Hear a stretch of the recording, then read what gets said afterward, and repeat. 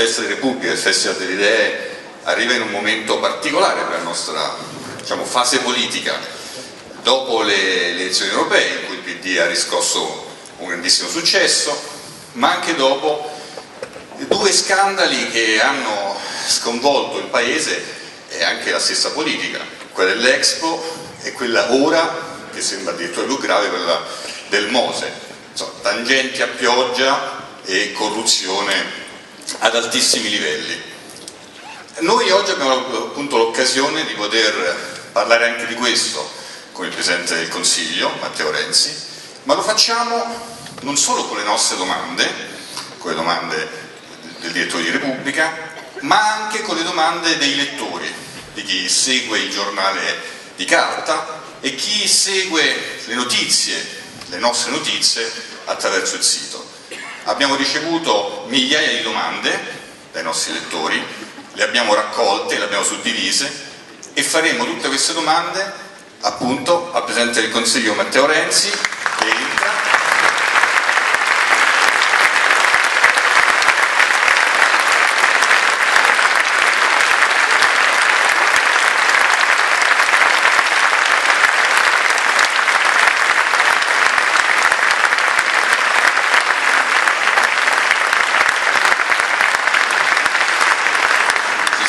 appunto le domande dei lettori, lettori di Repubblica, che chiederanno il Presidente del Consiglio sicuramente, insieme naturalmente alle domande del direttore di Repubblica eh, Matteo Renzi oppure Renzo Mauro.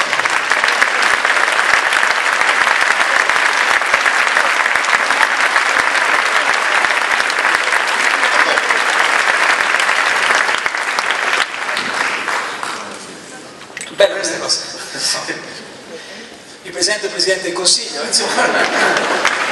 Posso stare sereno? Eh, lasciamo stare. Dopo il direttore di trasporto.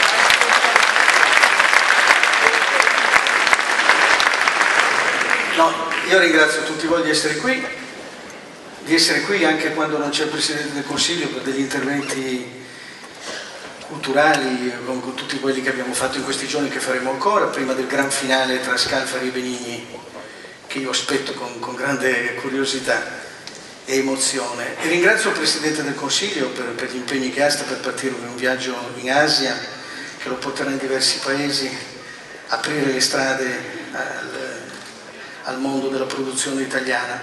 Lo ringrazio anche perché è una, che, una tradizione che si rinnova. Il Presidente del Consiglio era in prima fila lo scorso anno a Repubblica delle Idee a Firenze, aveva partecipato a molti dei nostri eventi era anche stato intervistato da Massimo Giannini era in prima fila quando il Presidente del Consiglio di allora, Enrico Letta, rispose alle domande di Repubblica, perché è un format di interrogare chi, chi guida il Paese in quel momento, è una delle funzioni del giornale. E l'anno prima a Bologna c'era stato il Presidente del Consiglio Monti, poi Letta è venuto anche a, a Venezia insieme col Presidente del Parlamento Europeo Schulz a una Repubblica delle Idee dedicato interamente all'Europa. Come ha detto Claudio Tito, noi abbiamo raccolto più di mille domande dei, dei lettori, dei cittadini e le domande io le ho concentrate in alcuni temi, le ho messe insieme alle nostre curiosità. E man mano che le domande crescevano terremotavano la scaletta ordinata che il giornale si era fatto a partire dalla politica, a partire dal risultato elettorale, arrivare alle riforme, arrivare agli impegni del governo per poi parlare dell'Europa e delle prospettive le chiedo, con quello che è successo al Mose e che è successo dopo l'Expo, con quello che Repubblica ha documentato oggi, che ogni 5 euro spesi per il Mose uno se ne va in un sistema tangentista che è fatto di 22 milioni e mezzo accertati già di tangenti e il resto sono prebende. E quello che ci dovrebbe inquietare di più è un meccanismo di tenere a libro paga, di compensare un mondo attraverso sovraffatturazioni, attraverso privilegi e aiuti che arrivano fino a ristrutturazioni alle ville, eccetera.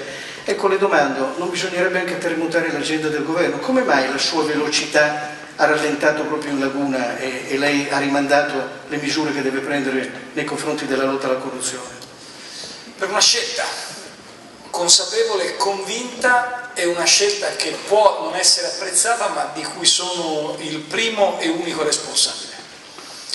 Noi siamo abituati a intervenire sulle vicende di corruzione con provvedimenti di emergenza, spesso legati più dall'ansia da prestazione del capo del governo, del ministro competente, dell'uomo politico, ansia comprensibile, dimostrare che siamo in grado di reagire, lo Stato reagisce. Poi però scopriamo che abbiamo fatto un sacco di regole in più e il problema non sono le regole, sono chi non le rispetta. Abbiamo un sacco di authorities e il problema non sono le autority, ma quello che fanno. Allora, su questo io sono personalmente molto colpito soprattutto dalla vicenda veneziana, perché c'è un elemento che tira in ballo la politica evidente. Eh, chi volesse negare una evidente responsabilità della politica e di alcuni politici in questa vicenda sarebbe eh, fuori da, da, dalla storia, eh, anche per la mia parte politica, anche per la mia parte politica. Quindi guai a chi dice no, ma lui non è iscritto, no, riguarda tutte le parti politiche, riguarda anche il PD e il centro-sinistra.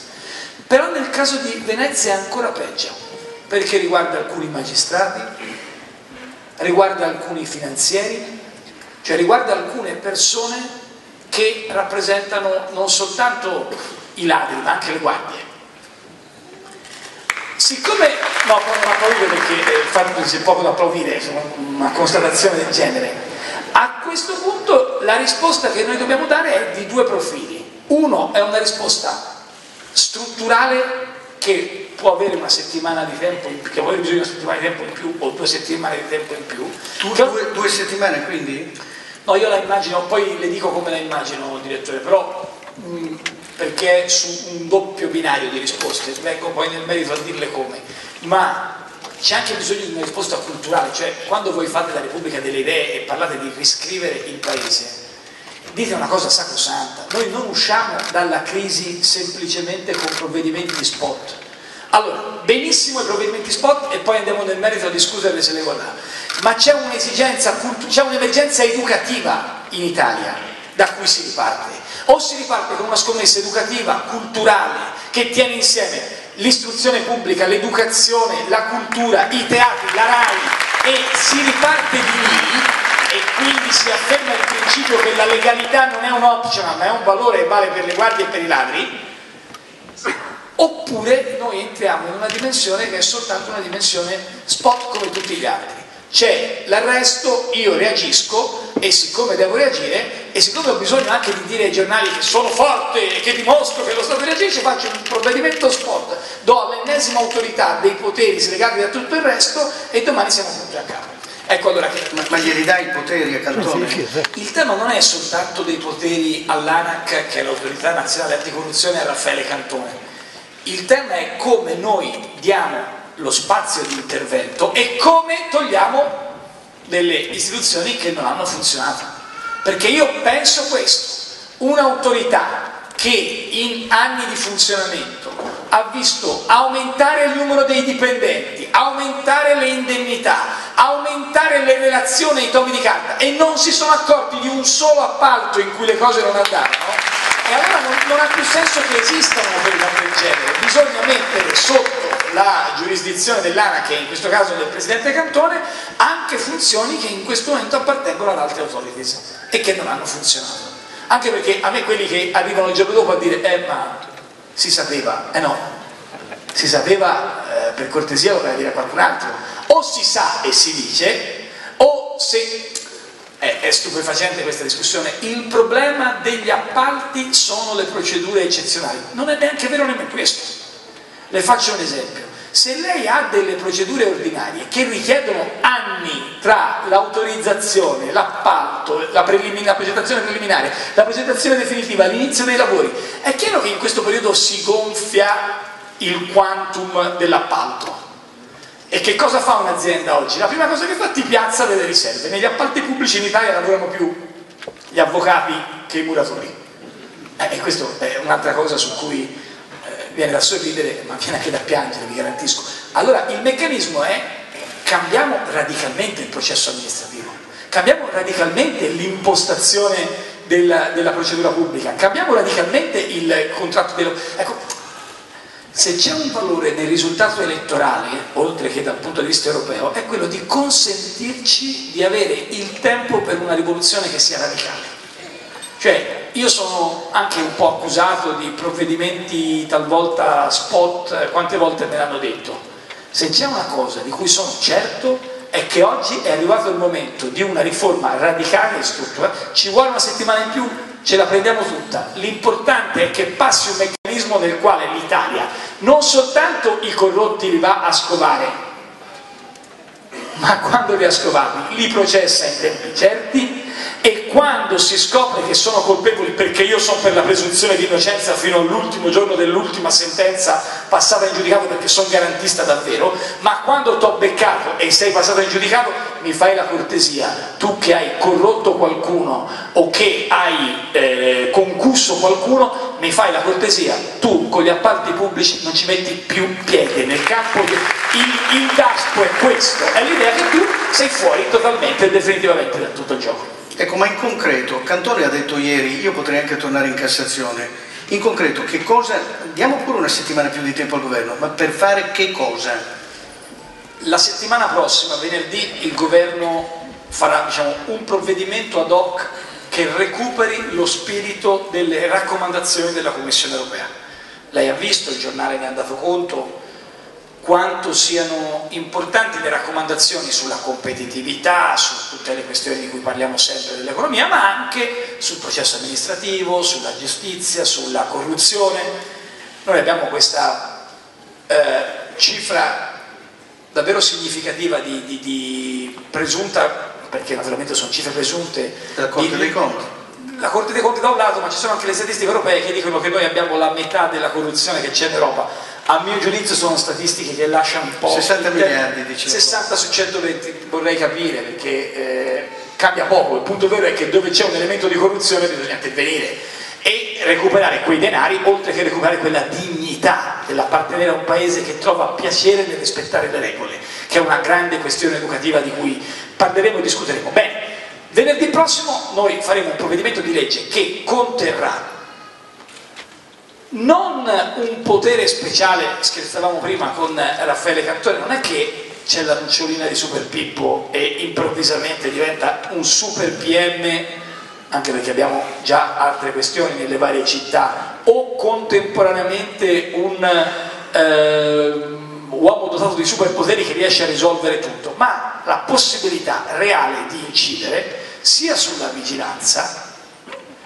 che sulle procedure che devono essere le procedure le più ferre di tutti. Dopodiché io voglio chiedere una cosa molto semplice, io trovo sconvolgente, so che magari vi metterete a sorridere, ma trovo sconvolgente che nel tempo dell'informazione e dell'ICT spinto, il giorno in cui Vodafone dice che ci sono centinaia di, migliaia, di, decine di migliaia di telefoni sotto controllo, pensare di poterla farla franca in un tempo in cui tutto è telecamere, tutto è tracciato, tutto è verificabile, io la considero una cosa che è di una uh, superficialità impressionante. Con gli strumenti dell'innovazione tecnologica noi siamo in grado di verificare e il punto vero diventa la volontà politica e quindi, dopo il passaggio di venerdì prossimo, direttore, nel pacchetto di riforma della giustizia deve essere un principio chiaro di certezza della pena se sei in condizioni di aver violato la legge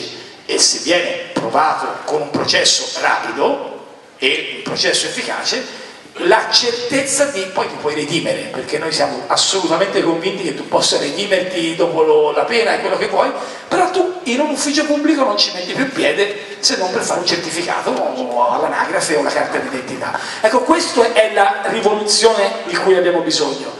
È chiaro che sarebbe molto più shock dire adesso vengo qui e do i superpoteri a Mister X. Sono vent'anni che diamo i superpoteri e sono vent'anni che la corruzione cresce. Sarà arrivato il momento di voltare pagina o no? Io su questo mi gioco molto della mia credibilità, ma sono anche molto convinto che l'Italia per bene sia pronta a dire basta e l'Italia per bene è decisamente maggioranza e decisamente in grado di farsi sentire. Ecco però c'è da recuperare qualcosa che abbiamo perso negli ultimi vent'anni. La legge anticorruzione, Lei si ricorda che Repubblica ha raccolto più di 500.000 firme di normalissimi cittadini che volevano solo una legge anticorruzione come la chiedeva l'Europa. Mentre la Severino stava varando la sua legge anticorruzione all'epoca del governo Monti, gli abbiamo portato il primo stock di 350.000 firme dicendo si appoggia all'opinione pubblica, la Repubblica non c'entra, l'opinione pubblica sì. Poi il falso in bilancio. Insomma, c'è qualcosa che c'è questo, che il governo può fare, il Parlamento pacchetto, può fare. Questo pacchetto sta nel tema della riforma della giustizia, che è di 15 giorni successiva all'appuntamento di venerdì prossimo, cioè entro il mese di giugno. Noi avremo, per quello che riguarda il processo civile, il processo telematico entra in funzione il 30 di giugno, il processo telematico civile. Abbiamo un pacchetto di riforme stru strutturate, complessive del sistema della giustizia a partire da alcune scelte che ha fatto il ministro Orlando, che trovo molto giuste. Una di queste, mi fa piacere dirla, so che è uscita appena sui trafiletti, ma un altro magistrato come eh, Mario Barbuto, il eh, magistrato piemontese, torinese, che a Torino ha rivoluzionato il sistema organizzativo e ha consentito di avere dei tempi certi nei processi, forse il Tribunale con i risultati più significativi in questo è diventato da due giorni il direttore generale dell'organizzazione della giustizia in Italia. Ha accettato l'invito di Orlando e mio, a, eh, nonostante anche qualche eh, resistenza che faceva, a venire a Roma a venire a darci una mano. È il segno che quando si fa una chiamata i migliori vengono a darci una mano.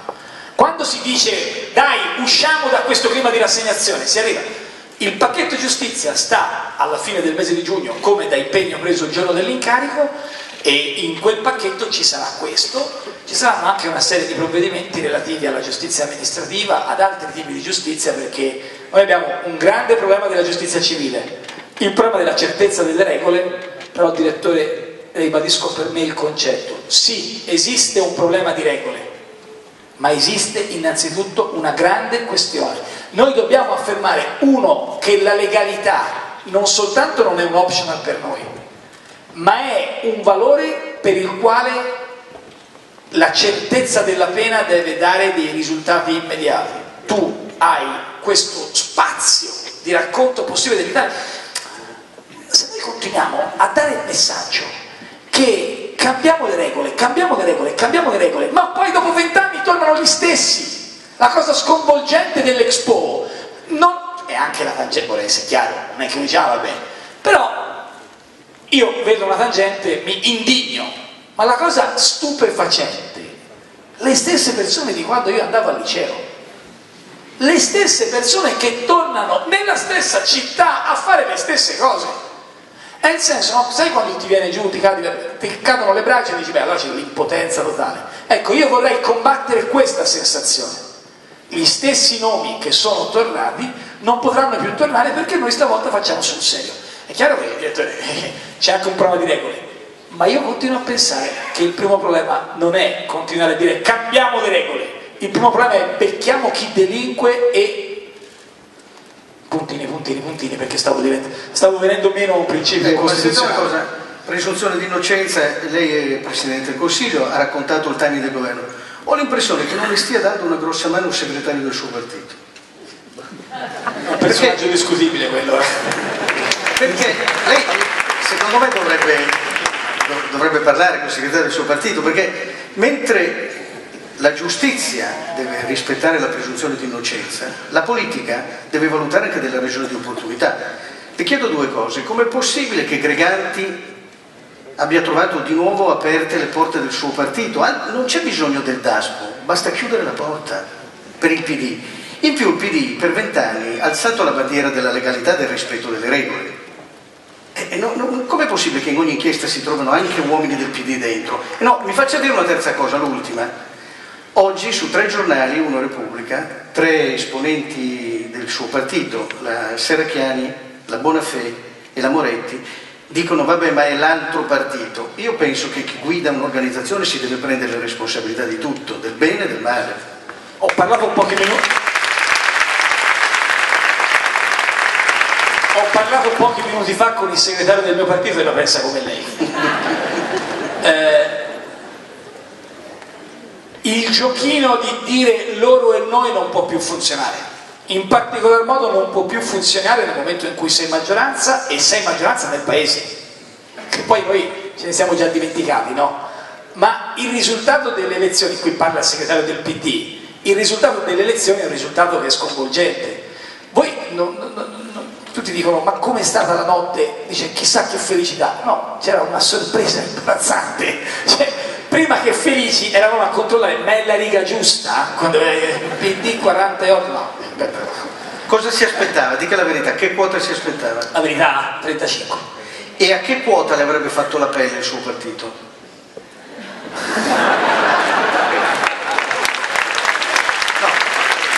facile che lo sappia lei. è più facile che lo sappia lei.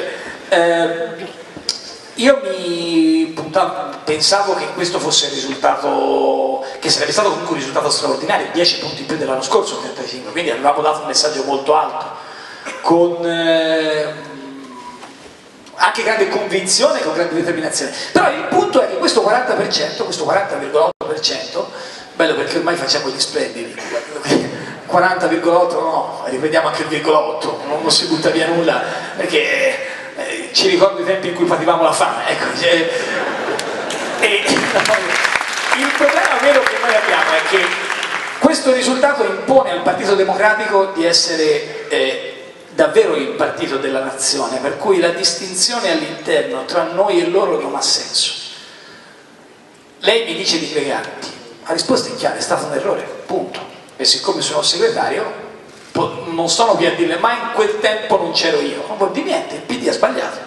Ha sbagliato dopodiché il problema del PD è che il PD contiene anche in sé delle persone che hanno responsabilità gravi.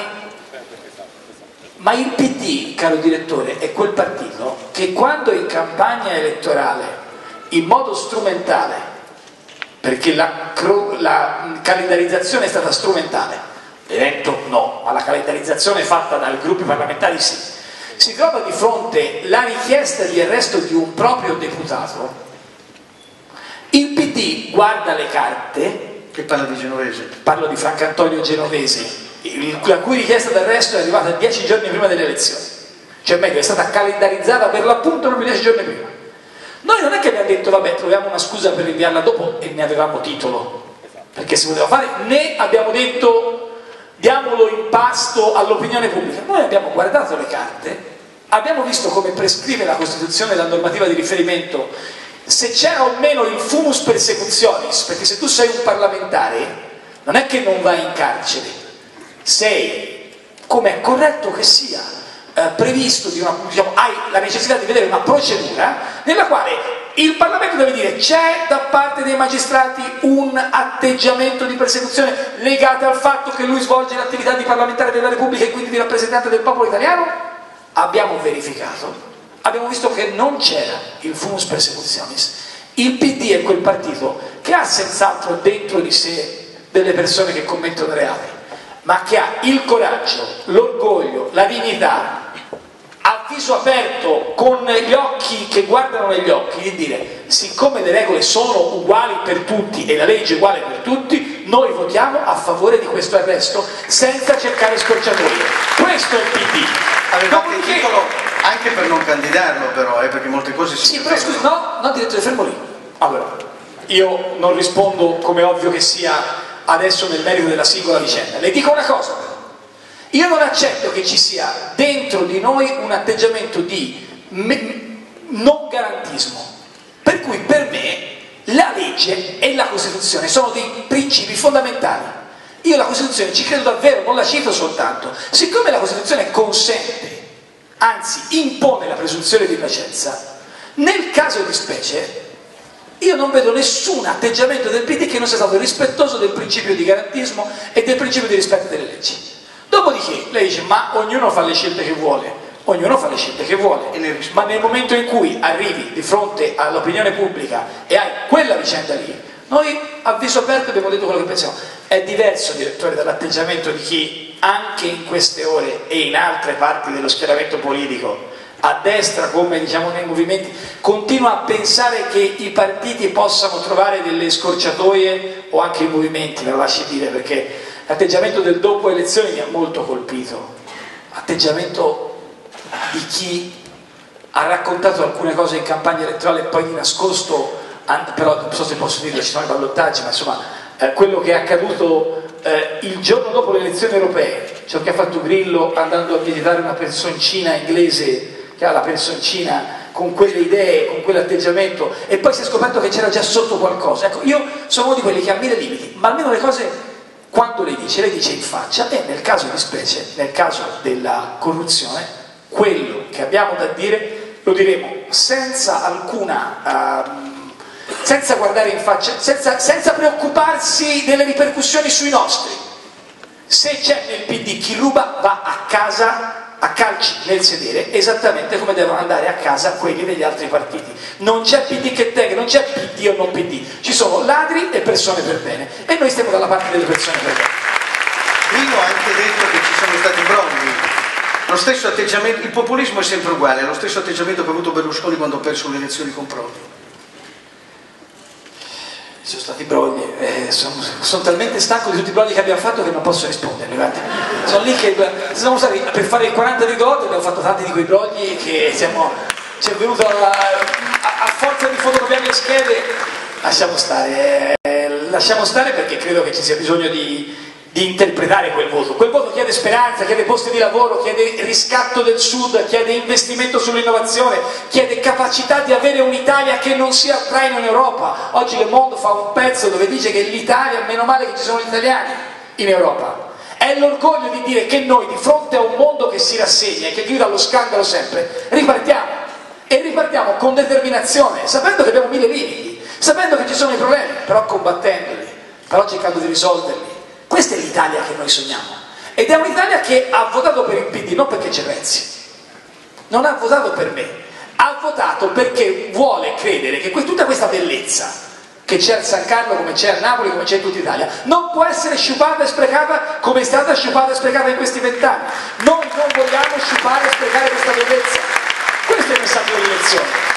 Ma il PD ha una responsabilità politica in più. Senta, ma questo paese negli ultimi vent'anni è stato sedotto da Berlusconi per tre volte, si è innamorato repentinamente di Grillo, le ha dato il 40,8%.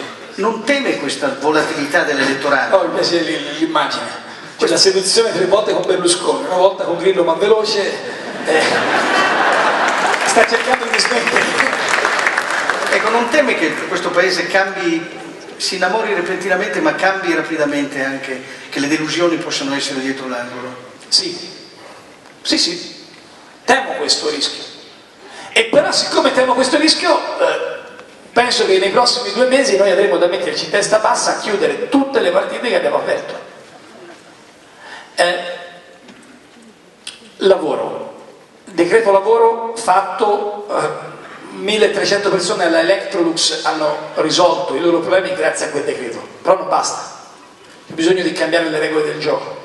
Questo crea posti di lavoro? No, aiuta, ma non è decisivo. I posti di lavoro li crea il, il contesto e l'atteggiamento che c'è verso il business. Come fare a attrarre investimenti?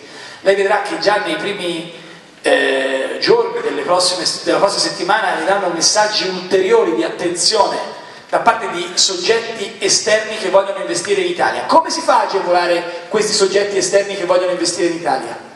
Che vogliono creare posti di lavoro? E come si fa a chiedere alla classe imprenditoriale italiana che si tolga di dosso la paura, la preoccupazione, in alcuni casi anche la polvere e faccia un investimento per il dopo? Come si può non pensare che anziché ragionare soltanto del potere anticorruzione, che è molto importante che ci siano, l'Expo deve vedere in questa fase di blocco anche un momento di ripartenza sul turismo. Cioè, quello che è accaduto sull'Expo deve portare a dire ok, noi finiamo i lavori per bene, evitiamo la corruzione, però facciamo anche un pacchetto di mischia degno di questo nome che va sul made in Italy, sull'agroalimentare, sulla capacità di esportare artigianato, tecnologia di alta precisione, cioè investiamo sul made in Italy. Accadrà questo venerdì. Un pacchetto di mischia sull'Expo dove chi deve guidare quella struttura deve sì preoccuparsi dei cantieri, ma ci deve essere anche una cosa ad hoc, che sia la cartina dell'Expo nel mondo e contemporaneamente la cartina del Made in Italy. Ma com'è possibile che noi abbiamo delle realtà, io mh, ho fissato qui a Napoli con eh, le autorità eh, locali, con il prefetto, con il sindaco, con il presidente della regione, una volta ogni tre mesi veniamo a monitorare i fondi europei a che punto siamo. Il 14, per l'appunto l'ho detto il 14 maggio, tre mesi, il 14 agosto. Abbiamo sbagliato il giorno, ma è utilissimo. Il 14 agosto facciamo il punto su Bagnoli, perché non è accettabile che di fronte allo spreco della bellezza ci sia lo spreco di realtà che fa quasi più male, no, quasi più male no, fa male quanto la corruzione. La, perché in questi vent'anni la corruzione è una cosa, ti rubano il bene pubblico, ma anche quello che è accaduto in alcuni immobili così straordinariamente importanti per il nostro futuro è una forma di furto. Ti stanno rubando il futuro. Allora, su queste questioni, direttore, io credo che la partita sia la vera partita che il governo deve giocare. Questo 48% non è un risultato da mettere in frigorifero una, come una bottiglia di quello buono, è un risultato da spendere. Quindi il rischio di perderlo c'è, ma preferisco, preferisco rischiare e investire sull'Italia che pensare che mi abbiano votato perché magari ho fatto un discorso meglio degli altri e quindi inserire questo risultato in una sorta di palmarès dei risultati politici e giocarlo tutto in politichese è un 40,8% che noi rimettiamo immediatamente in campo investendo sull'Italia. E se sarà andata male sarà tutta colpa mia. Perché bisogna anche smetterla in questi vent'anni c'era sempre un alibi. E non ce l'ho fatta per colpa di quello, non ce l'ho fatta i magistrati, i sindacati, la coalizione, l'alleanza, il partito. Se non ci si fa è colpa mia. Ma se ci si fa l'Italia torna a volare eh? l'Italia torna a crescere, l'Italia traina L'Italia è in condizioni di prendere per mano l'Europa e di portarla fuori dalla condizione in cui siamo. Basta con questi sogni rimpiccioliti per i quali l'Italia è la cenerentola d'Europa. L'Italia ha le condizioni per tirare fuori l'Europa dal pantano in cui l'Europa sta. Bisogna crederci. E io faccio un esempio, questo è un iPhone. Questo è un iPhone. Se io dico iPhone, mi viene in mente, immagino Apple e Made in USA made in USA significa che per voi questo è un prodotto americano. O non c'è una cosa di questo iPhone che sia fatta in America. Una. Cioè non c'è un solo ora no, si è aperto, non vorrei far vedere messaggi, ma non c'è un solo pezzo di questo telefonino che è fatto in America. Però cosa hanno fatto gli americani? Il processo, curano il processo e curano il marketing. E qui si torna a una parola che usata a sinistra è spesso usata contro di me e contro chi la utilizza. Ma l'Italia ha le cose più straordinarie del mondo e non ha né cura il processo né un'operazione di marketing. Se voi pensate a mettere, io vorrei un derby tra l'iPhone e la mozzarella di bufala. No, non so per chi siete, magari questi sono tutti quelli della Samsung, però il concetto è la qualità del, o se pensate a uno strumento della tecnologia italiana. L'Italia è l'unico paese al mondo dove il direttore commerciale parla male dell'Italia. È l'unico negozio dove il titolare sta fuori, non entri, eh? per carità, non entri a comprare roba qui perché guardi come facciamo le cose male noi. E fuori nel mondo siamo bellezza. Io ho raccontato al punto che, che, che penso di essere venuto a Noia, l'ho fatto anche recentemente a Napoli, che in un volo interno negli Stati Uniti uno steward lo scorso estate parlava di San Francisco, stavamo arrivando a San Francisco con Tony da innamorato pazzo, aveva, so se ha smesso di dare le indicazioni su come mettersi la cintura e ha iniziato a parlare di San Francisco. Uno di questi voli, non c'erano italiani se non eh, la mia famiglia a bordo, quindi non, non è che ce l'hai riconosciuto altro. Cioè, io volevo dire che San Francisco è meravigliosa, mi sono innamorato di questa città, è bellissima. Cinque minuti con San Francisco, che naturalmente è bellissima, poi c'è. Non è suggestiva come Rio de Janeiro e non è bella come Napoli. Però è San Francisco. Allora, il punto è che nel racconto esterno nostro, che cosa siamo in grado di valorizzare e che cosa no? Ho sentito Baricco che parlava del San Carlo sono andato in una scuola secondigliana qualche settimana fa, ho chiesto ai bambini chi facesse teatro E una bambina dice sì, io perché da grande voglio diventare attrice per Gomorra. Che va bene, vorrei essere chiaro, non voglio aprire la discussione che per esempio Roberto Sagliano ed altri hanno fatto, il sindaco stesso, eccetera. Ma io se penso alla bellezza culturale del teatro, qui penso all'opera, penso a Edoardo, penso a Gomorra, se penso al teatro a Napoli, penso alla grandezza della possibilità di un racconto che l'Italia possa mettere in campo. Siamo in grado di farlo? Io penso di sì. La mia scommessa, direttore, è riuscire a questo punto non più nel giro di 100 giorni, ma nel giro di mille giorni, a raccontare un progetto educativo, culturale e di valori che spieghi perché litighiamo sulla RAI. Io non metterò mai bocca sul vice capostruttura del gabinetto dell'ufficio del terzo piano del vice caporedattore della RAI però chiedere alla RAI di tornare a fare servizio pubblico, educando le nuove generazioni, aiutando in una dimensione da maestro Manzi nella dimensione di internet, siamo in grado di farlo no? Ecco, tutte queste cose insieme sono la scommessa che ha il governo davanti. Se poi la gente la prossima volta non vota il PD, vorrà dire che non siamo stati bravi noi, ma se voterà il PD la prossima volta lo voterà perché noi abbiamo cambiato l'Italia.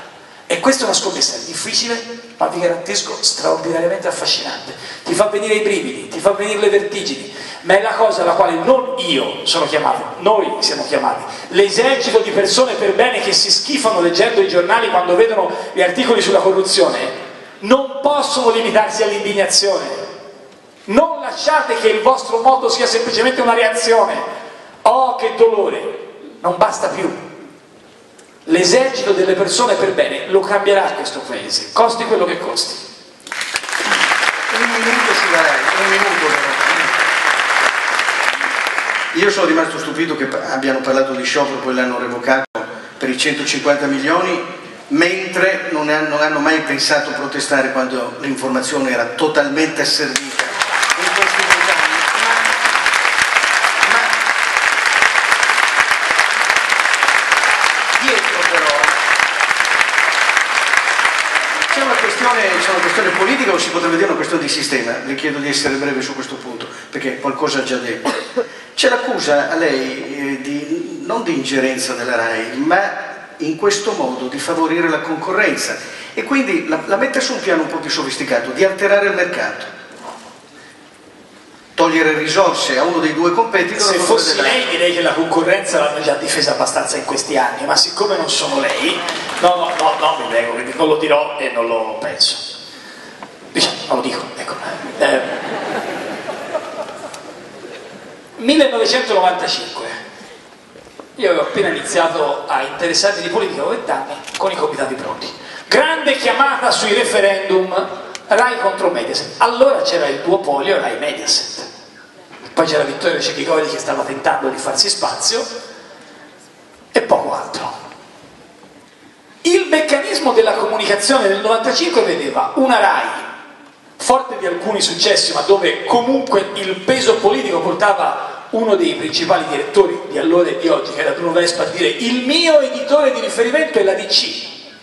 Almeno Vespa lo diceva chiaramente. C'era una Mediaset... È rimasta.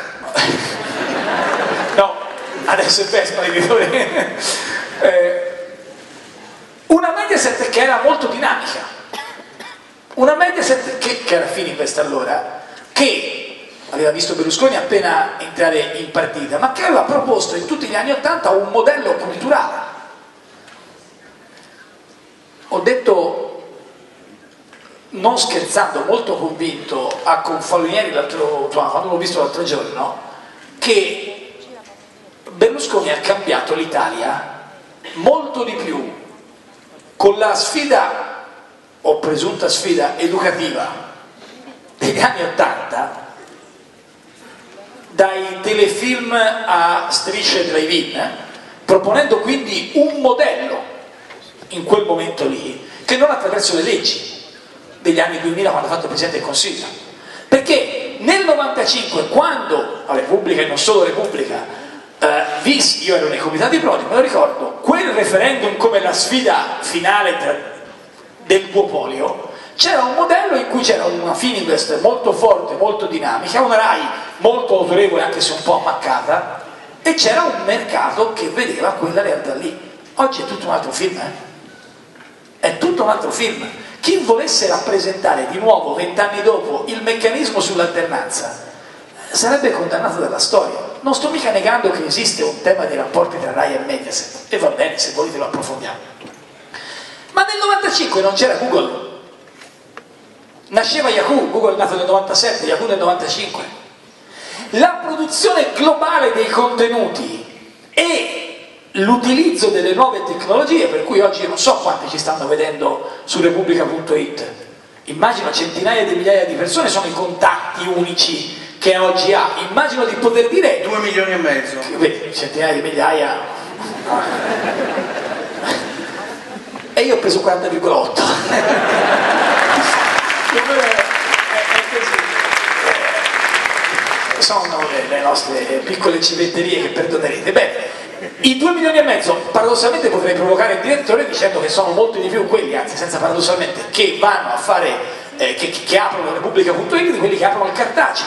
Allora, questo pone per Repubblica e per gli altri quotidiani e per gli altri giornali. No, sono 3 milioni i lettori del Eh vabbè, allora direttore. Ma in questo momento stanno aumentando e sono a 300. Allora, il punto centrale è che sta cambiando l'informazione e la comunicazione. E noi continuiamo adesso a discutere di RAI e Mediaset come prima. Non voglio negare il fatto che esista un tema di concorrenza, ma la vera questione è, ma la RAI si sta attrezzando con i prodotti audiovisivi, con i contenuti audiovisivi, a andare nel mondo, sapendo che scontiamo il fatto di utilizzare l'italiano, che è una lingua parlata da molto meno persone che non l'inglese ma anche lo spagnolo, oppure rimane a discutere della vendita di Rai Way che era già stata perfezionata dal centro-sinistra negli anni 96-2001 e che è stata bloccata da Maurizio Gasparri. Cioè noi stiamo ripartendo dal filo che aveva interrotto Gasparri. Capisco che ci voglia coraggio e tutte le precauzioni del caso, ma stiamo ripartendo di lì. Cambiamo la Gasparri intanto? Beh, io penso che vada cambiata la governance della RAI, vada cambiata la strategia della RAI, ma vada fatto dopo un dibattito culturale. Io mi piacerebbe un giorno, io sono accusato, il direttore lo sa, ne abbiamo anche parlato qualche volta, di non essere capace, e veramente mi scuso di questo, di dare un, una lettura chiara di quello che stiamo facendo, sia sul breve periodo che sul medio periodo. Breve periodo, riforma costituzionale, riforma istituzionale, riforma del lavoro, riforma della pubblica amministrazione, semplificazione fiscale, investimento sul lavoro e sulle nuove forme di lavoro. È un pacchetto unitario di un'Italia più semplice, più leggera, più coraggiosa. Ma dall'altro lato c'è una scommessa per i prossimi anni che personalmente per colpa mia non riesco a raccontare bene. È una scommessa che parte dall'idea che dalla crisi non esci aumentando il PIL dello 0,5. Non sono le virgole a salvare il PIL e non è il PIL a salvare un paese. L'unico modo che noi avremo per uscire dalla crisi sarà un gigantesco investimento educativo e allora vuol dire andare nelle nostre scuole e ripartire sì dall'edilizia, ma per dare dignità al valore degli insegnanti, per dare importanza al valore delle famiglie, per dare un po' di tregua alle mamme e ai papà che trovano i loro figli e sono preoccupati della scuola. Secondo punto, il grande investimento sulla cultura, intesa non come luogo da lasciare ai sovrintendenti di turno in una visione ottocentesca. Io ho anche alcune idee diverse rispetto a alcune che sono state espresse anche in questo oh, Repubblica delle Idee sulla cultura, c'è una impostazione, un approccio culturale che vorrebbe ridurre la fruizione dei beni e delle attività culturali soltanto un po' di adepti, magari recuperando il sistema museale dell'Ottocento, per cui andava nel museo soltanto chi era già preparato.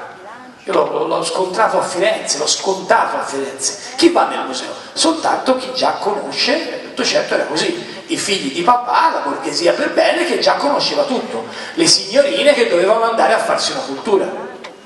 E quindi non c'è racconto del bene culturale. E quindi non c'è preparazione educativa al bene culturale. E quindi quando si parla dell'opera lirico-sinfonica non si ragiona semplicemente di quant'è l'indennità frac dell'orchestrale, ma devi dire come fai a portare l'opera nelle scuole, ripartire dalla bellezza della musica per i bambini. Se fai questo lavoro qui, tu hai una scommessa che vale 20 anni per le future generazioni, che riporta l'Italia, Alessandro Maricco ha utilizzato questa espressione, mi piace molto, a riscoprire la grammatica della bellezza. Allora questo, lo dicono fior di premi Nobel, è il modo con il quale esce dalla crisi, con una scommessa educativa e culturale non con un piccolo cabotaggio sulle misure economiche. Che faremo? Andremo in Europa a combattere, andremo a spendere i 180 miliardi di euro, ma o noi recuperiamo l'Italia che fa l'Italia e che diventa, torna, rimane, sarà la patria della grammatica della bellezza, oppure ogni tipo di discussione è perso, anche i dibattiti sulla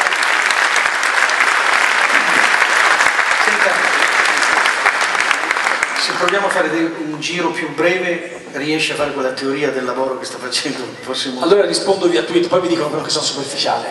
No, senta una cosa, lei si immagina naturalmente qual è la massa principale delle domande che le sono state rivolte attraverso Repubblica.it? Riguardano il lavoro. Perché poi c'è la legge di gravità dei problemi, no? c'è quello che vorremmo fare e c'è una gerarchia imposta da quello che dobbiamo fare il problema del lavoro è drammatico perché poi le cifre ci riportano, ci riportano davanti il tema della, della, disoccupazione giovanile che ha delle cifre che, che, sono uno scandalo anche in Europa. Ecco, come affronta questo problema? Guardi che nelle domande che sono state fatte ci sono molte critiche, ma c'è un fortissimo investimento di fiducia che passa però attraverso anche un'attesa. Che cosa facciamo per il lavoro? La gente segnala dei casi specifici, i suoi casi, gente laureata che non trova la, da lavorare. Ecco, allora, quando lei legge queste cifre, anche in questi giorni della disoccupazione giovanile, che cosa pensa di fare? Le chiedo qualcosa di concreto. Leggo delle email che sono più indicative delle cifre perché sono cose che non ti fanno dormire la sera quando le leggi raccontando proprio i casi specifici di cui parla lei. E allora provo a essere sintetico. Il lavoro non si risolve con un clic, occorrono più interventi. La riforma della pubblica amministrazione, la riforma delle regole è la precondizione per iniziare a impostare un ragionamento sul lungo periodo. Quindi vanno fatte. Le modifiche delle regole del gioco per consentire di non andarsi in alcune grandi realtà italiane e straniere e contemporaneamente per attrarne di altre è un passaggio che va fatto in parte abbiamo già iniziato. La gioia di vedere una ragazza che non mi ha votato e non mi voterà, sinistra radicale, che eh, ha festeggiato con noi la vittoria sul, nella partita Electrolux e che l'ha festeggiata attraverso quel decreto legge che per esempio qualcuno della sinistra radicale o che eh, parte della destra non Beh, la destra non, non voleva e non ha votato. 3. Si tratta di andare a scegliere degli investimenti bloccati. C'è l'imbarazzo della scelta. Sblocca Italia, un piccolo pezzettino, ma anticipare, accelerare, sbloccare quei cantieri, garantendone la correttezza e la legittimità, e accelerare la spesa dei fondi europei, fondi europei, fondi di sviluppo, fondi di coesione, fondi della politica agricola comunitaria valgono per qualcosa come 184 miliardi di euro. Per farlo bisogna andare in Europa e dire all'Europa non cambia il 3%, ma inizia a farmi spendere, a liberarmi dal patto di stabilità, i denari del cofinanziamento. Sono molto tecnico, mi scuso perché divento noioso se non lo fossi già stato. Il punto però è che in soldoni questi denari dobbiamo farci autorizzare, farceli sbloccare, però dobbiamo spenderli su progetti seri.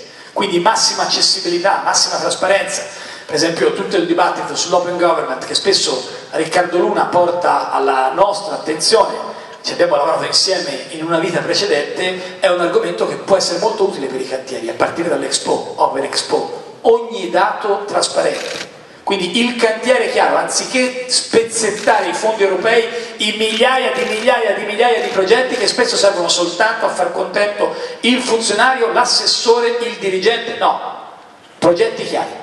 Poi però si tratta di ragionare di politica industriale. Ecco perché Taranto è un luogo sul quale il progetto deve essere chiaro, verificabile e trasparente. Ecco perché Piombino deve essere una realtà in cui chi viene a investire riparte.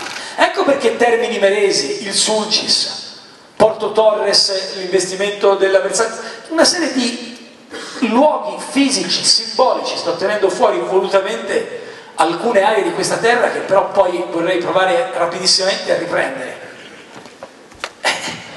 Quando la settimana scorsa, due settimane fa, abbiamo firmato due contratti per Fincantieri, o l'accordo tra Shanghai Electric e Ansaldo Energia Genova, quando abbiamo detto agli investitori internazionali le porte sono aperte, ma noi qui abbiamo bisogno di gente che crea lavoro, non di persone che vengono a fare eh, viaggi speculativi, stiamo cercando di raccontare un'idea dell'Italia diversa da quella di oggi.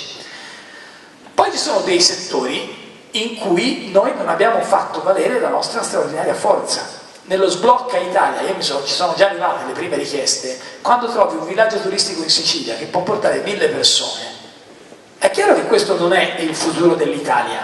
L'Italia non diventa Disneyland, ma non è nemmeno che siccome c'è un investimento bloccato, io non voglio fare Disneyland e quindi non, non apro un villaggio turistico che dà lavoro in una zona disagiata a mille persone. In questo senso, allora, chiudo, c'è bisogno di essere molto, molto, molto determinati sui singoli punti. Cioè, non vi aspettate da un Presidente del Consiglio i convegni sul lavoro. Basta con i convegni sul lavoro. Le cose da fare le sappiamo tutti alla perfezione. È arrivato il momento di essere operativi, ma per essere operativi è anche vero, lasciatemelo dire, che non è che il pubblico può pensare di sostituirsi e di creare posti di lavoro in autonomia. Questo vorrei che fosse chiaro, c'è bisogno di chiedere, di investire sulla libera imprenditorialità. C'era un bellissimo librettino di un napoletano che ha detto se Steve Jobs fosse nato a Napoli, non so se l'avete letto, eh, è, molto divertente, ma anche fosse nato in Italia. L'esempio che facciamo spesso è quello delle, delle start-up, delle aziende che possono creare futuro, innovazione. Lo spazio per ripartire dal punto di vista del lavoro non è collegato a una singola scelta, ma tiene insieme lotta alla burocrazia, riforme costituzionali e istituzionali, modifica delle regole del lavoro, impostazione diversa sulla giustizia civile per consentire tempi certi a chi interviene in Italia e poi, lo tengo alla fine, ma è fondamentale, ed è il problema del rapporto col fisco. Qui, direttore, c'è una grande questione che riguarda la sinistra noi non possiamo dire in Italia nel 2014 o comunque negli anni 2000, al di là che eh, chi lo pensava era una persona degna di stima e a cui va tutta la nostra riconoscenza alla memoria, ma non possiamo pensare di essere il partito che dice che le tasse sono bellissime, per un motivo molto semplice, che in Italia il sistema fiscale è quanto di più assurdo, farraginoso e devastante immaginabile. Allora c'è da fare un pacchetto che tenga insieme, uno, una lotta all'evasione senza quartiere e la lotta all'evasione la fai con gli strumenti telematici, non con i blitz a sorpresa. Tu vai sul Ponte Vecchio una volta e speri di beccare il giapponese che si è comprato l'orologio e di fargli la multa perché non ha usato il codice fiscale giusto ma quando tu puoi fare l'incrocio delle banche dati e sai tutto di tutti e gli scopri gli evasori veri, ma di che stiamo a discutere? Due. Però ne avete parlato poco di lotta all'evasione fiscale. Meno se ne parla e più si agisce e più siamo seri. È vent'anni che continuano a prenderci in giro sull'evasione fiscale. Scusi, non tutti, in un modo diverso. Mi faccia fare un esempio, direttore. Allora, come funziona una legge? Fate conto che io sia un ministro in cerca di visibilità Arriva la legge, faccio la riforma di, delle palestre. Il mio portavoce viene da me e mi dice, tu vuoi avere domani spazio sui giornali? Dice, beh certo, sarà. Allora, questa riforma delle palestre non funziona. Come non funziona? Sto facendo la riforma, delle... bisogna aggiungere qualcosa che piace ai giornalisti. Colpa dei politici, eh, non dei giornalisti. Cosa? Mettici una deducibilità, mettici una defrazioncina, chi va in palestra le scarpe nere ha gli occhiali in un certo modo al 19% sul modulo X che può pagare entro il 16 giugno a meno che non arrivi un decreto del governo che lo sposta il 23 settembre a condizione che non sia bisestile perché in quel caso c'è 30 giorni più 15 no no non li vede perché è così è così Noi abbiamo destagionalizzato il lavoro dei commercialisti. In tutto il mondo c'è una data in cui si pagano le tasse. Da noi, e lo dico io, che ieri ho dato il via libera all'operazione, e questo è veramente incredibile per me, che pure sono responsabile, quindi sono, dichiaro la mia colpevolezza della Tasi. Un meccanismo, anche questo ci, ci sono messi d'impegno perché era un meccanismo così. Va bene, non è un problema. Qual è la conclusione? La conclusione è che con calma, venerdì, dopo tre mesi che siamo lì, il blocco della semplificazione fiscale parte e il prossimo anno vi arriva la dichiarazione, a 32 milioni di italiani, arriva la dichiarazione dei redditi precompilata. La dichiarazione dei redditi precompilata significa non solo un fatto fisico, ma significa che non c'è più il meccanismo tu paghi le tasse, eh, io sto fermo 5 anni a controllare, arrivo magari a 4 anni, 8 mesi, zam, ti faccio l'accertamento, ti chiedo di portarmi gli scontrini che avevi lasciato, ma cambiamo casa. Il meccanismo è esattamente l'opposto, non è lo Stato che controlla e che diventa il nemico, controparte, ma lo Stato che è alleato, tu mi porti, io ti mando, ti va bene, chiusa qui, la partita tra noi è chiusa, non ci vediamo più. Questo rovesciamento dell'impostazione fiscale è fondamentale sul tema del lavoro. Perché? Perché crea un paese semplice. Noi abbiamo bisogno di creare, chi vuole fare impresa deve poterla fare. Invece oggi chi deve creare impresa, direttore, si mette l'ansia. Noi abbiamo cercato di fare alcune cose.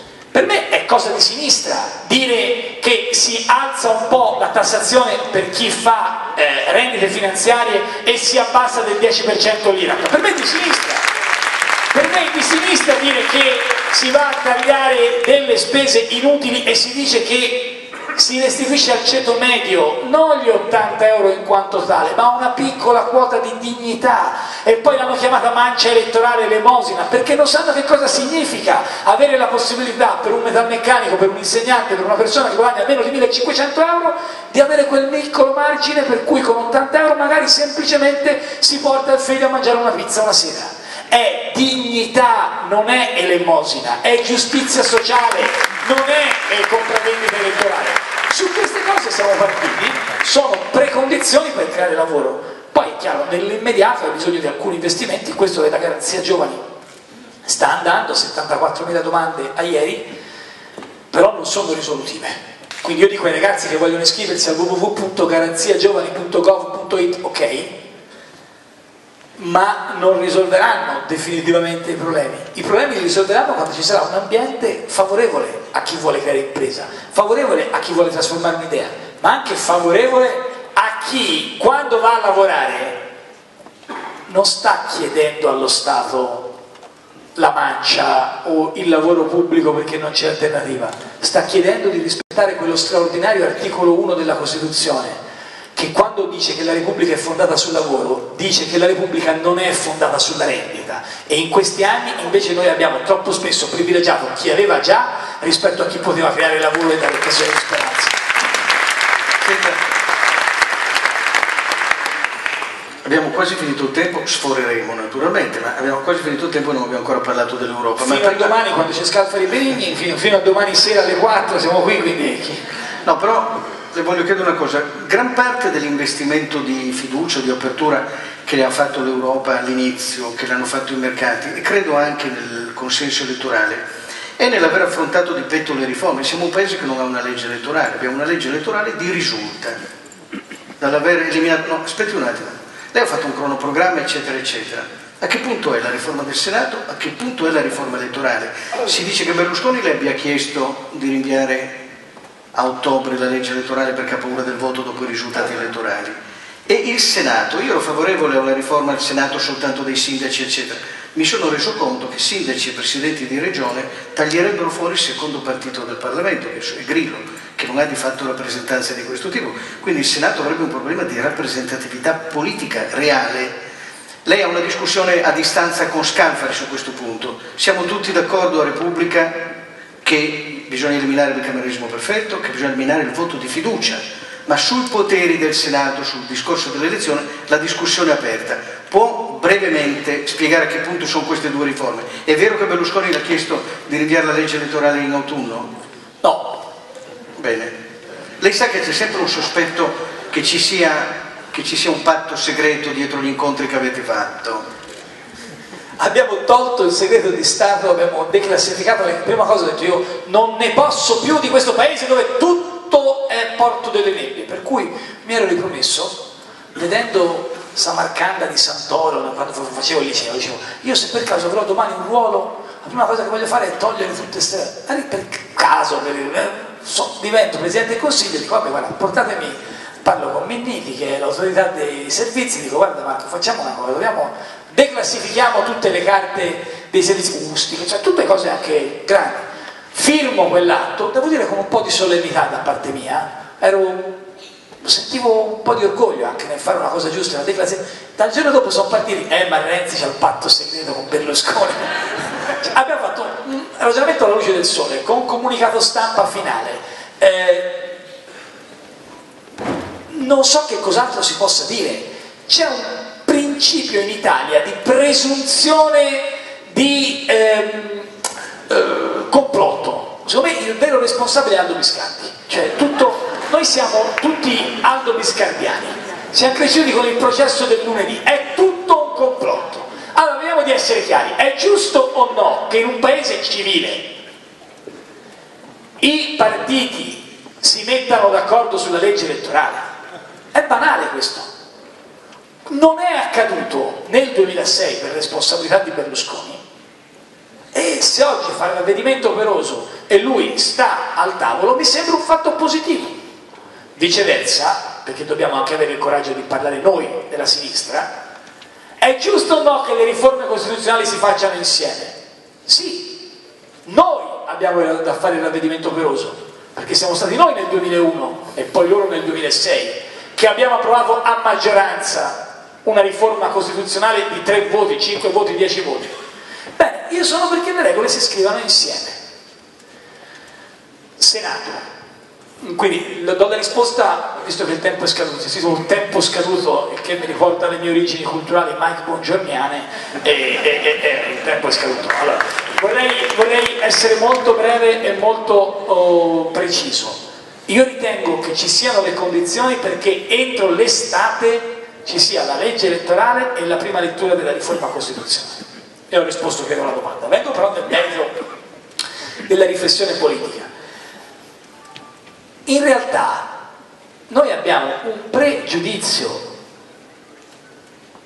per il quale sembra che la riforma costituzionale nasca da una improvvisazione dell'ultima ora. La riforma costituzionale, o meglio, la scrittura della Costituzione sul Senato è stata oggetto di una grande trattativa in sede di Assemblea Costituente. La DC voleva il Senato delle professioni, il PC voleva il Senato delle autonomie. Il bicameralismo perfetto non fu una scelta motivata e logica, o meglio, non fu la scelta di partenza, poi fu senz'altro motivata e logica, ma fu una scelta di risulta.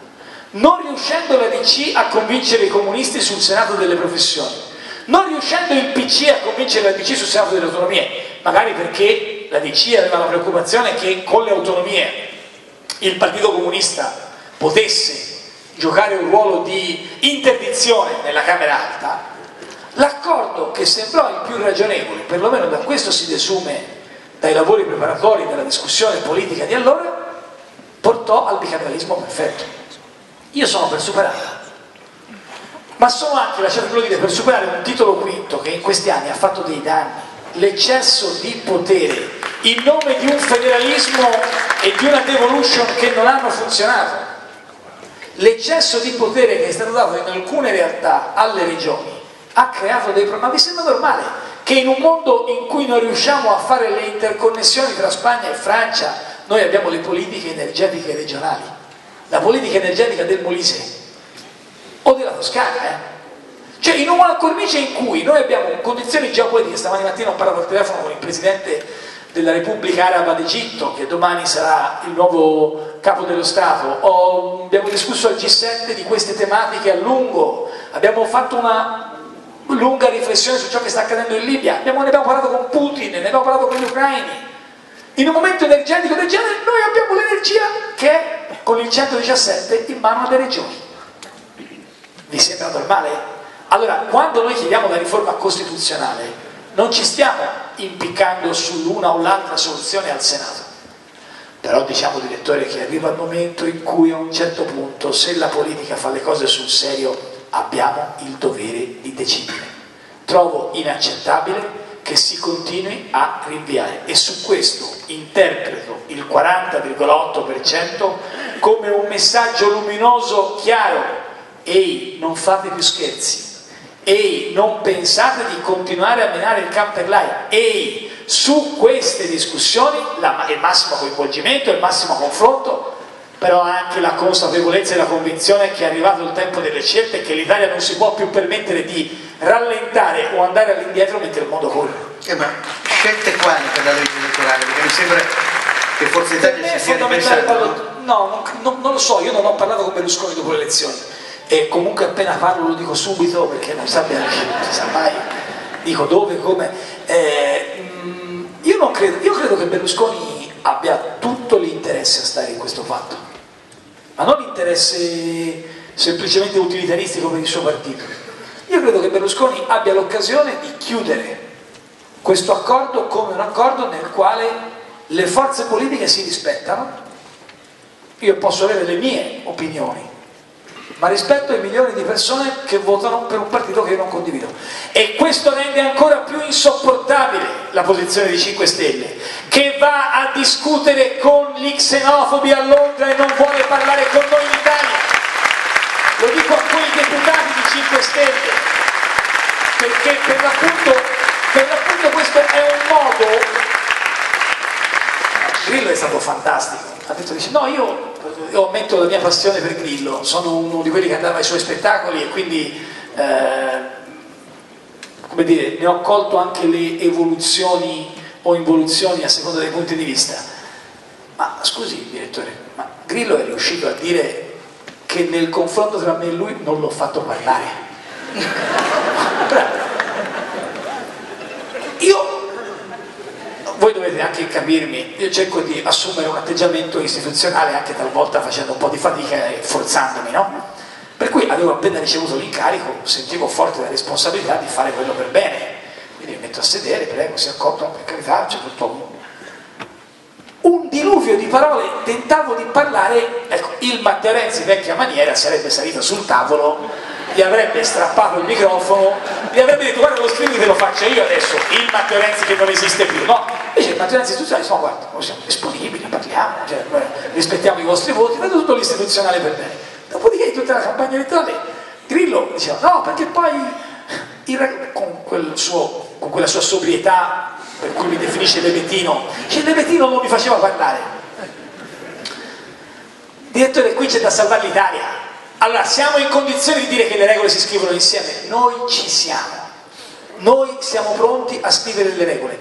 Ma sappiano, lor signori, che il Partito Democratico, proprio perché ha ricevuto forte e chiaro il messaggio degli elettori, non accetta giochi alla meno sulle riforme, sulle riforme istituzionali e sulle riforme costituzionali.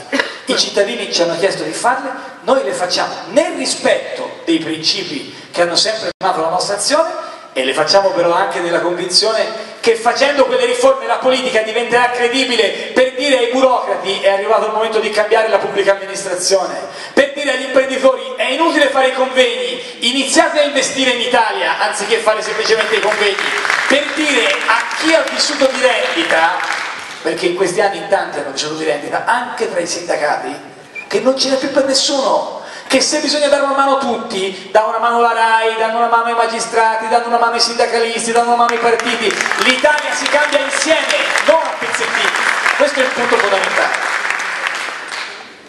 Senta, il, il voto ha premiato un partito di governo in Italia, tuttavia la disaffezione nei confronti dell'Europa è cresciuta moltissimo anche qui. Se noi sommiamo quelli che non sono andati a votare per le elezioni europee e poi i voti euroscettici, c'è da essere preoccupati, anche perché eravamo un paese magari superficialmente più europeista d'Europa. Una delle cose che la gente percepisce è che dell'Europa sente il vincolo e non sente la legittimità del vincolo, sente le istituzioni lontane. Allora l'idea che il Presidente del Parlamento europeo fosse un risultato del voto, che c'erano delle candidature, era sembrato un modo per avvicinare l'Europa ai cittadini, e cioè quel voto diventa una leva, premio, punisco, scelgo. Adesso sembra che i capi di Stato e di Governo si riprendano questa scelta e tuttavia hanno una forte difficoltà a scegliere. Addirittura eh, il eh, premier inglese Cameron dice l'Inghilterra potrebbe secedere se voi fate Juncker. A me pare che le due candidature storiche, Partito Popolare e Socialista, Juncker e Schulz, siano, si stiano elidendo e siano fuori gioco entrambe. Che cosa sta succedendo? Chi farà il Presidente della Commissione? Non glielo so dire e credo che lo E non lo direbbe magari? No, no, non lo so, sinceramente non, non sono in condizione di dirlo in questo momento. So cosa pensa l'Italia a questi tavoli. Ma lei sa anche cosa pensano gli altri leader perché arriva da un vertice. Sì, però in questo momento c'è tanta gente che interessa sapere cosa pensa l'Italia. E cosa pensa l'Italia? E penso che l'Italia debba andare a quei tavoli non preoccupandosi di cosa dicono gli altri, cioè ascoltando quello che dicono gli altri, ma per una volta essere consapevole che il risultato che arriva dalle europee porta l'Italia a poter contare qualcosa. E per contare significa non mettere uno dei nostri. Noi abbiamo straordinari servitori delle, delle istituzioni italiane perché uno come Mario Draghi è un valore per l'Europa, non è un valore soltanto per l'Italia. Quindi il ragionamento potrebbe andare molto in là. Sintesi. Uno, il Presidente della Commissione deve essere uno che è scelto dai cittadini. Bene, argomento valido.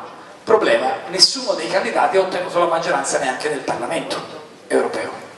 Quindi bisogna per forza andare all'accordo ok? Quindi non è che stiamo noi negando la democrazia, a meno che non si dica che chi prende eh, il primo che arriva vince, ma questo non è un meccanismo propriamente democratico, pensando ai numeri. Il Partito Popolare Europeo ha perso posizioni, non le ha guadagnate.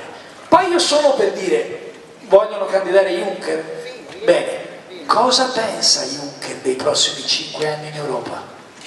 Continuiamo come abbiamo fatto in questi cinque anni può chiamarsi Juncker o può chiamarsi Paolo Rossi.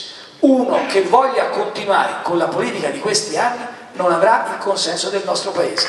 Perché noi sappiamo che le percentuali di disoccupazione sono percentuali che nascono dalle nostre responsabilità di italiani.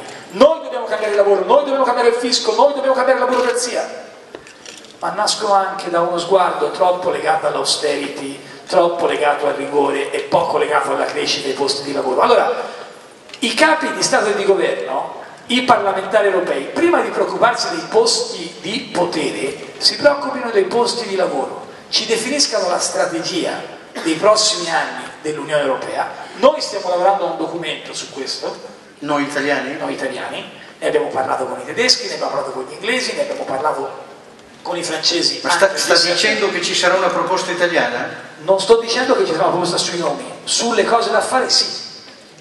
Noi abbiamo chiesto che ci sia un confronto non sui nomi, ma scusate, il populismo arriva a quelle cifre che ricordava adesso il direttore Aziomaura. E noi che cosa facciamo? Anziché domandarci qual è la causa del populismo, ci mettiamo in una simpatica litigata su chi fa cosa, ci mettiamo in una sorta di grande incrocio Avete presente quel gioco elettronico che si chiama Tetris, che fa 30 anni in questi giorni? Il Tetris è un gioco dove ci sono delle figure geometriche diverse che vanno incastrate, quando sono incastrate al punto giusto si vince.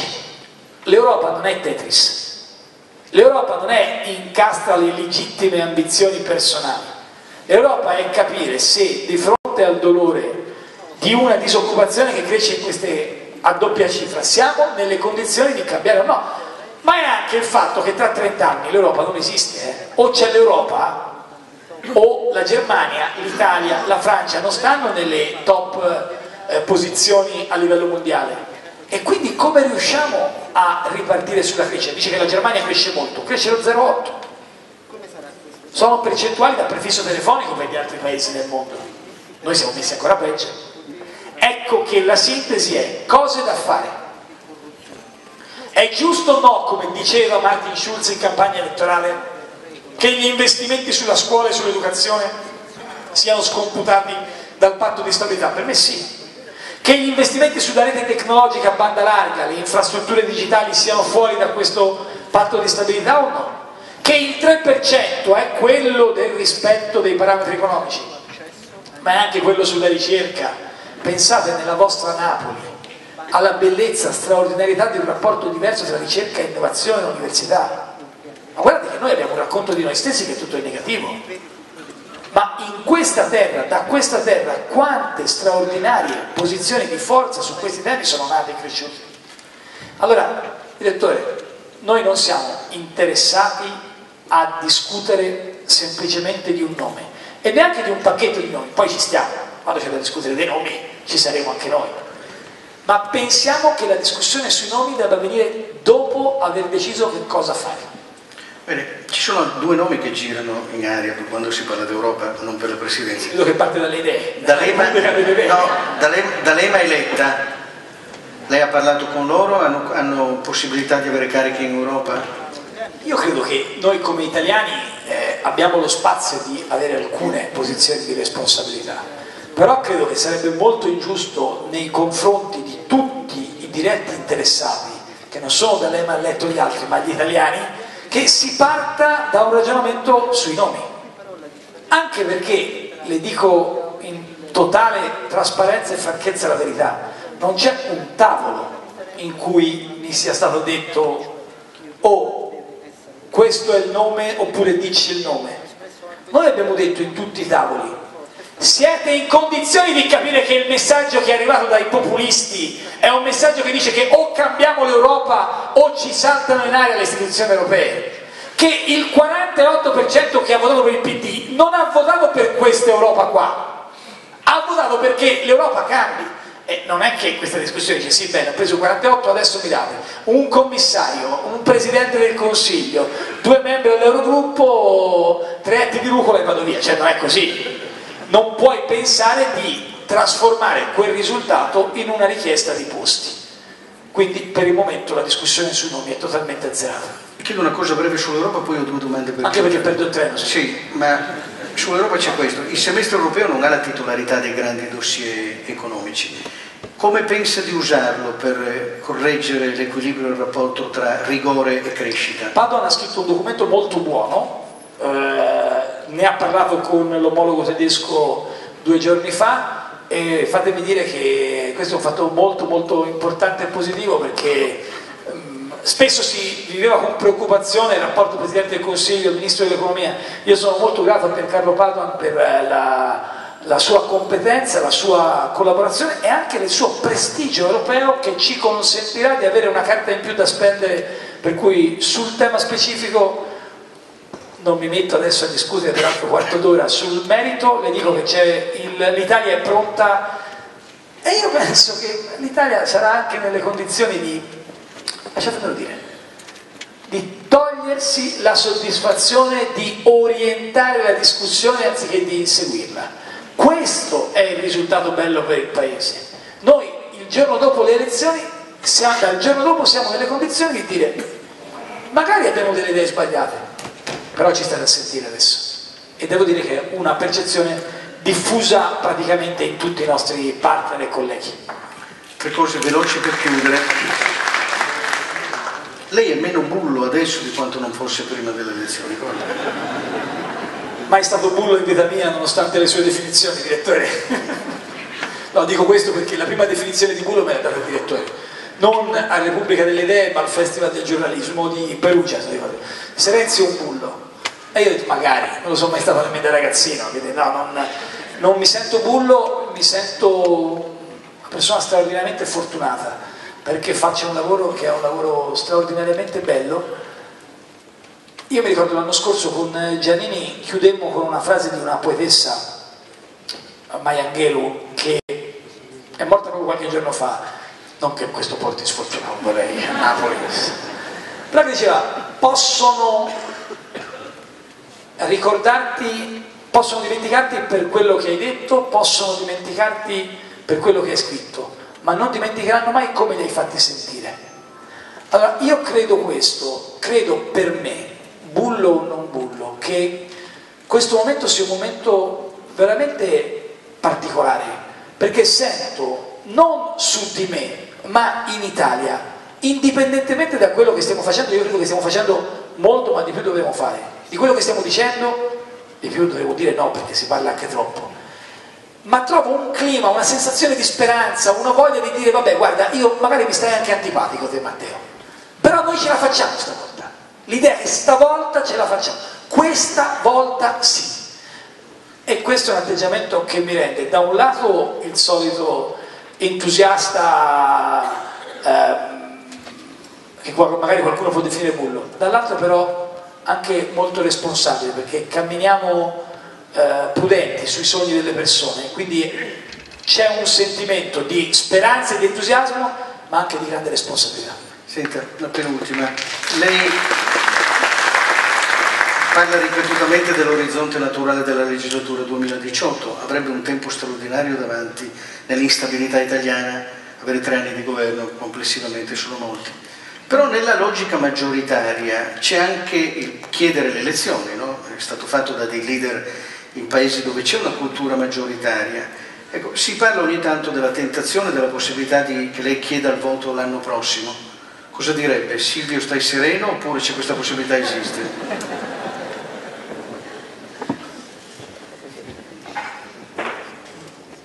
se i responsabili, i rappresentanti in Parlamento sanno leggere la politica, e penso che la sappiano leggere meglio di me, eh, devono avere la piena consapevolezza che è finito il tempo della palude. E quindi io non mi metto qui a ragionare in una logica politichese, ah siccome ho vinto adesso l'occasione per chiudere la partita, mi danno la maggioranza, con il mio Parlamento chissà cosa posso fare perché sarebbe un atteggiamento per alcuni aspetti anche naturale e normale, ma sarebbe un atteggiamento che di fatto tradisce quel mandato che ti è arrivato. Allora, se i rappresentanti del Parlamento sanno leggere il voto degli italiani e il volto degli italiani, questo è il momento in cui si, al, si parte per arrivare al 2018, ma non per occupare delle poltrone, per rovesciare il paradigma culturale ed educativo dell'Italia. Siamo in grado di farlo? Io credo di sì. Ne sono convinto e consapevole perché conosco gli italiani, non perché conosco i parlamentari, perché vedo gli italiani. E secondo me in Italia c'è questo clima qui, quello di dire, ragazzi, mettetevi pure a litigare quanto vi pare, ma su queste cose questa è la volta in cui si volta pagina. Per cui rispondo alla domanda dicendo, secondo me si va alla fine della legislatura, dopodiché io posso andare a casa domani mattina non ho una preoccupazione personale, ho la preoccupazione di non tradire la speranza di chi oggi vede la possibilità di cambiare l'Italia. E per farlo però vorrei chiedere a tutti voi di non cedere mai alla rassegnazione, perché se i politici si sono potuti comportare come si sono comportati è anche perché hanno avuto nella società civile un atteggiamento di rassegnazione. Spero che questa volta non vogliate neanche voi. L'ultima cosa. alle 14, direttore. È una bella responsabilità aver portato per la prima volta nella storia la sinistra italiana al 40,8%. Guardi un attimo indietro. Non c'è arrivato PC, non c'è arrivato PDS, non c'è arrivato DS, non ci sono arrivati DS. C'è arrivato come leader della sinistra o c'è arrivato come papa straniero perché era estraneo a questa storia? ci sarà sempre qualcuno che mi riterrà il Papa straniero e mentre loro faranno i convegni su quanto io sia il Papa straniero, noi cambieremo l'Italia e metteremo la residenza in questo 40%